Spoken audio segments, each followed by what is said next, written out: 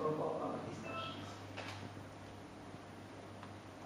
And this is uh, the volume. It was translated into Romanian, but I think um, we should read it more and do something with this publication.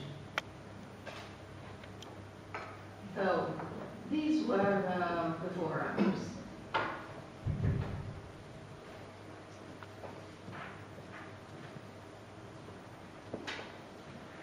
Feminine and not feminist. If in Romania the history of uh, incipient feminism is synchronous with similar movements in other European or North American spaces, the socialist period outlines different geopolitical map, dissociating categorically the East from the West from the perspective of the woman condition. In spite of her emancipation, which assured equal rights in education and in exercising different professions, the patriarchal mentality survived and women continue to play a domestic role unspoiled by the job exigencies she had assumed.